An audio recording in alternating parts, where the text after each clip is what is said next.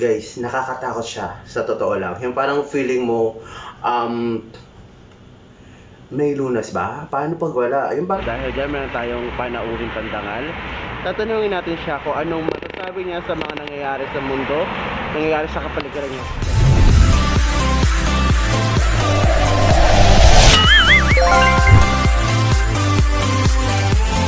Hello guys, again welcome back to my vlog. So for today, ayan, we're just waiting for for the grocery na mag-open kasi ngayon ay prayer time.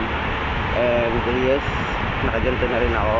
So para sa pag-iingat, kasi hindi natin alam kung sino ba yung nakakasalamuha natin, kung sino ba yung nasa labas, na maaaring infected, and at the same time, baka mahawaan ako, hindi mahawaan ko yung mga kaibigan ko na nandito. So, mas maaganda ng sa atin nagsisimula ang pag-iingat, di ba? So, yun. And, medyo nakakapraning na rin yung sitwasyon kasi dito rin sa Saudi Arabia, ah, lumalaki din everyday yung um, cases na merong coronavirus na COVID-19. Kaya, ah, unti-unti, lalabas ng mga mem- memo or um, ng mga advice kung ano bang dapat gawin. Dahil dyan meron tayong panauring pandangal. Tatanungin natin siya kung anong masasabi niya sa mga nangyayari sa mundo, nangyayari sa kapaligiran niya.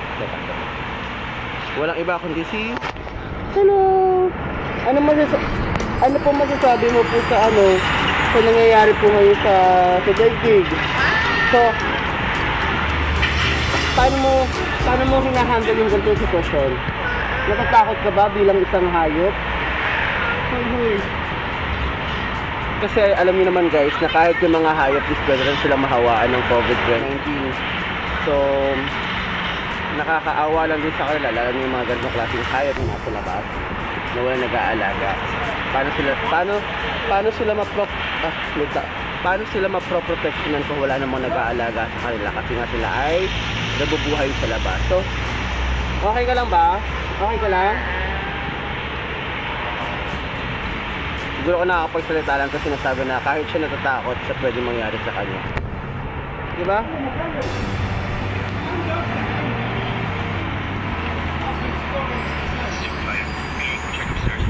So, ayan, naghihintay tayo na magbukas kasi kailangan natin bumili ng ah, makakain. And, ah, ayun lang. Nakakaparaning.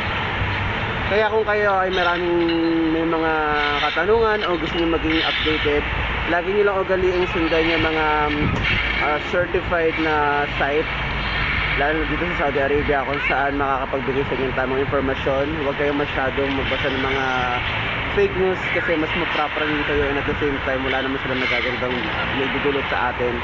Mas makakapagbigay lang sila ng panic mode, di ba?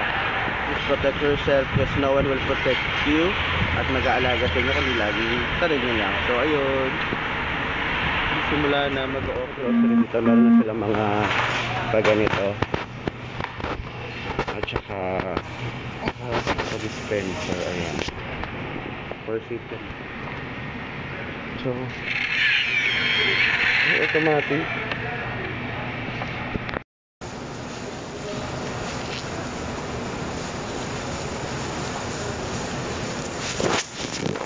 So ayan, na tayong guantes. So, na tayo mag-grocery. So ayun, sinusubukan pa natin maghanap ng mga sanitizing gel at saka ng alcohol. Wala talaga, wala na. Kaya, yun. Anyway, so hindi ko alam kung anong patutunguhan ng vlog na to. So, pero yung mga tao naman dito sa supermarket, hindi pa rin naman sila ganun ka ka-OA. At hindi pa rin naman nagka ano, nagpa-panic buying which is good. Dapat ganun lang. Chill chill lang. 'Di ba?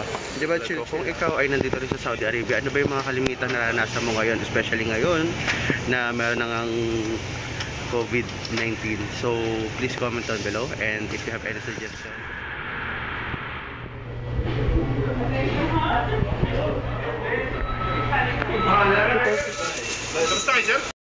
So, paalis na tayo kasi nga bawal ang dining.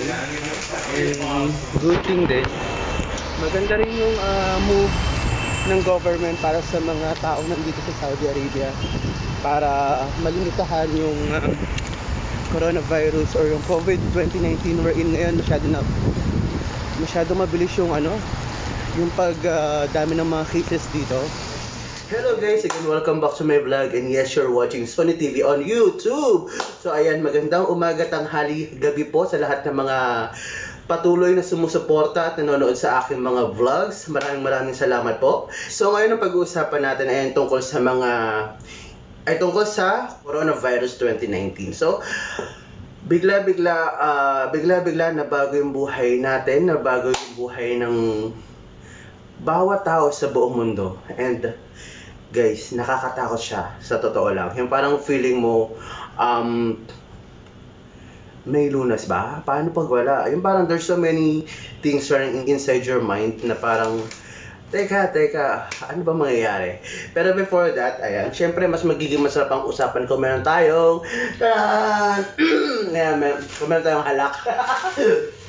Ngayong gabi pala, in-implement na nila yung ano, bawal nang kumain or bawal na mag-dine in sa loob ng restaurant. Kaya ang available na lang is to take out or to take away your food. Kaya ito, take away na lang. Bumili lang ako ng fries and mini Asian. So promo to, to mini Asian. Dalawang mini Asian. Dalawang mini Asian, tapos isang fries, tapos drinks for 15 reals. And uh, dito, nag-crave ako sa McFlurry. So, sinama ko na siya sa order. So, back to our topic. Alam niyo ba na dito, matindi na rin yung matindi na rin yung cases ng kanang coronavirus.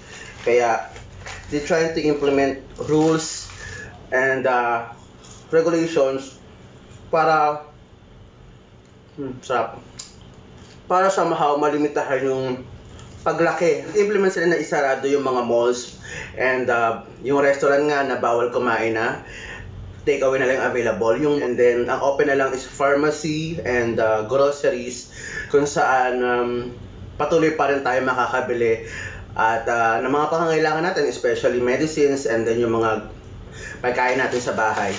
And uh, yung iba, yung mga, yung cinema, for the meantime, nakasarado yon And then, yung yung mga sports event nila pinastop na rin muna nila yon and then ano yung pagkakaroon? Gatherings. So ng maraming tao sa isang event.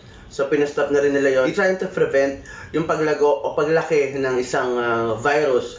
Kasi may tendency nga naman di ba na sa ganung lugar is may mahawak.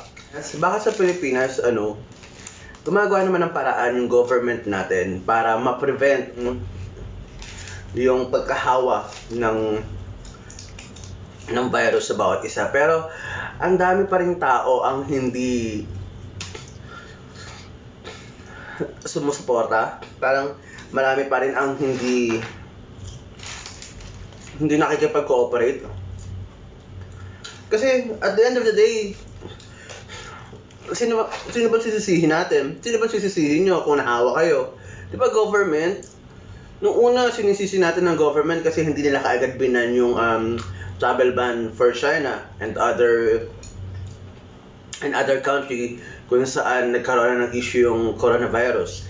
Pero ngayon na ginagawa na nila yung paraan, gumagawa na sila ng way para wag nang lumaki. Pero marami pa rin tayong sinasabi, marami pa rin silang sinasabi sa government. I'm not uh, Duterte, I'm not Dilawan. Nandun ako sa gitna. Kung may maganda nagawa si Duterte, okay, okay ako doon. Pero kung sa tingin ko hindi maganda yung action niya, pinapun ako. Sa sarili ko na lang kasi ayoko mabash.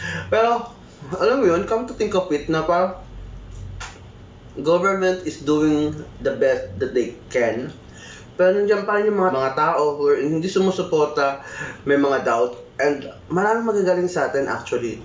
Magagaling po muna. Magagaling. Magagaling. As in magagaling. Pero dito, wala naman kaming issue. Pinapasalamatan pa nga namin na nakakaroon ganito kasi concern sila sa amin. Concern sila sa tao. what more pa din sa Pilipinas, we're in concern din sila. Minsan hindi naman common mahirap ang Pilipinas kaya hindi makapag Totoo wala yan sa hirap o yaman ng bansa, guys. Nasa tao yan. Bakit kailangan natin magsisihan? Bakit ngayon kailangan natin magturuan? Na kaya so ganun, ganito, late, late mag, mag uh, implement ng travel van. Kulang sa mga doctors, kulang sa mga healthcare, walang gamot. Guys, wala pang gamot na naiimbento.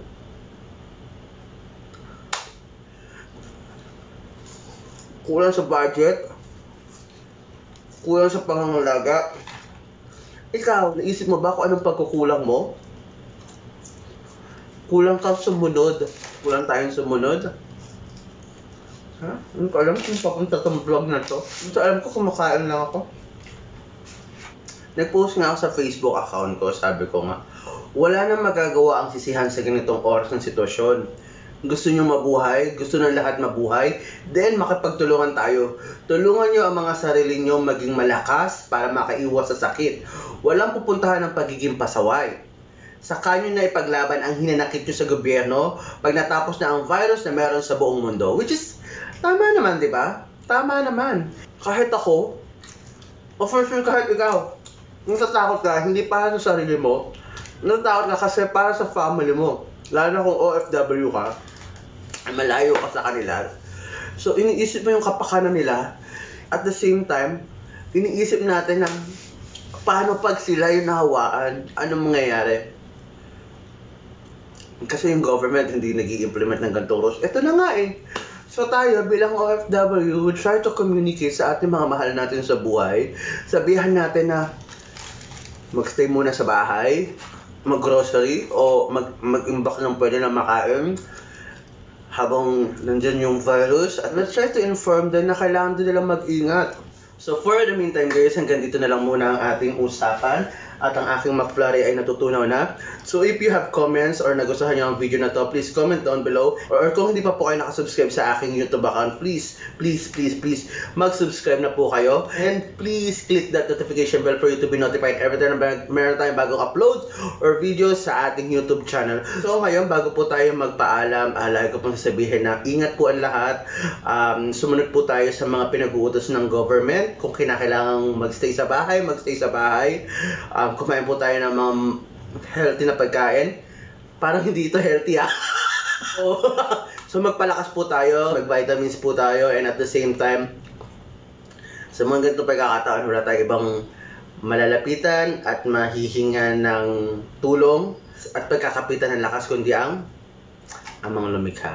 So, huwag natin siyang kalimutan sa mga ito pagkakataon. Lapit lang po tayo sa kanya kasi for sure, kung pinanghihinaan na tayo ng loob, nandiyan pa rin siya para bigyan tayo ng pag-asa. Anyway, again, thank you for watching my vlog. See you next time guys. Salamat po sa pagtutok at panonood ng aking Sony TV on YouTube. Bye-bye!